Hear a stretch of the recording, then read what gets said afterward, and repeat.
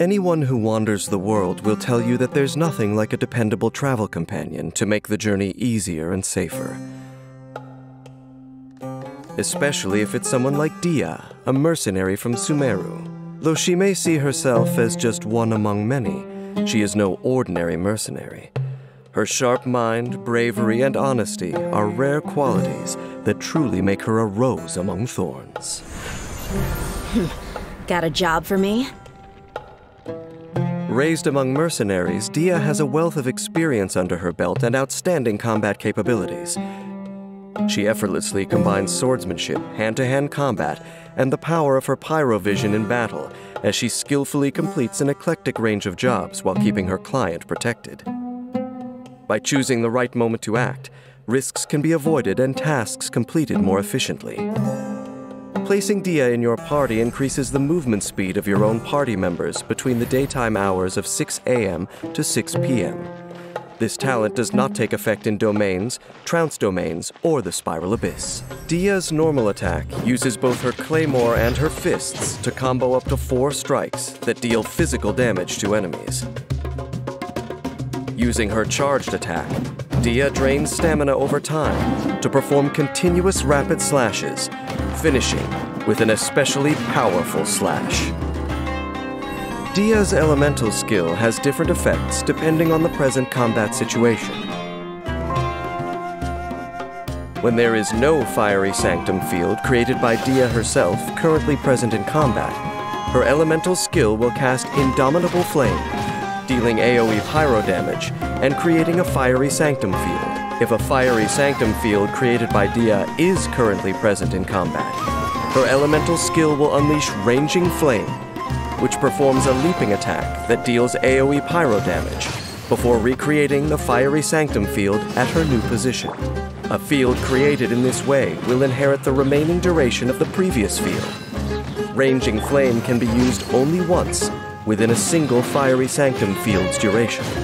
When an enemy within a fiery sanctum field takes damage, the field will unleash a coordinated attack, dealing AoE pyro damage to them based on Dehya's attack and max HP. This effect can be triggered once per set time period. Active characters within the fiery sanctum field gain increased resistance to interruption. When characters in the field take damage, a portion of that damage will be redirected into Redmane's blood. Dehya will then take this damage after a time. When the redirected damage stored by Redmane's blood reaches or exceeds a certain percentage of Dehya's max HP, no further damage will be redirected. Only one fiery sanctum, created by Dehya herself, can exist at a time. After unlocking the talent Stalwart and True, when her HP falls below a certain amount, Dehya recovers a percentage of her max HP, then continues to recover a portion of max HP at regular intervals for a set duration.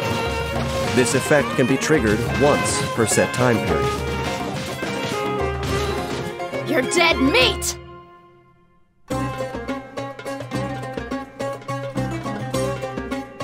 When Dehya casts her elemental burst, she unleashes her burning rage, casts her unwieldy blade aside, and enters the blazing lioness state, increasing her resistance to interruption. In this state, Dehya automatically unleashes a series of Flame Mane's fists, dealing pyro damage. When the duration ends, she executes an incineration drive, dealing AoE pyro damage. All damage dealt by Flame Mane's fists and incineration drive is based on Dehya's attack and max HP. Also, while in this state, Dehya will be unable to use her elemental skill or perform normal, charged, or plunging attacks. Her normal attack and elemental skill will be replaced by Roaring Barrage. Using Roaring Barrage shortly after each Flame Mane's fist will increase the attack speed of the next Flame Mane's fist. If a fiery sanctum field created by Dehya's own elemental skill exists when she unleashes her elemental burst, Dehya will retrieve it, then recreate the field once Blazing Lioness's duration expires. The recreated field will inherit the remaining duration of the retrieved field. After unlocking the talent Unstinting Succor, for a short period after Dehya retrieves a fiery sanctum field using Molten Inferno Ranging Flame or Leonine Bite, she will take decreased damage when absorbing damage from Redmane's blood. This effect can be triggered once per set time period. Additionally, for a short period after Dehya unleashes Molten Inferno Indomitable Flame, she will grant all party members the Gold Forged Form state. This state will further increase characters' resistance to interruption when they are within a fiery sanctum field. This state can be triggered once per set time period. Although her reputation as the Flame Mane has spread far and wide, Dehya has never aspired to fame. Rather, her focus is on consistently completing each job entrusted to her and on protecting those around her. Dehya's combat strategy is centered around her elemental skill. She starts by using it to create a fiery sanctum, which assists teammates in combat by redirecting damage away from them and providing coordinated attacks. At an opportune moment, she uses Ranging Flame to deal another bout of AoE pyro damage to enemies. When energy is full, Dehya unleashes her elemental burst and enters the Blazing Lioness state. In this state, she uses Roaring Barrage to increase the attack speed of Flame Mane's fist, before finishing with an Incineration Drive, overpowering her foes with her Flaming Lioness Claws.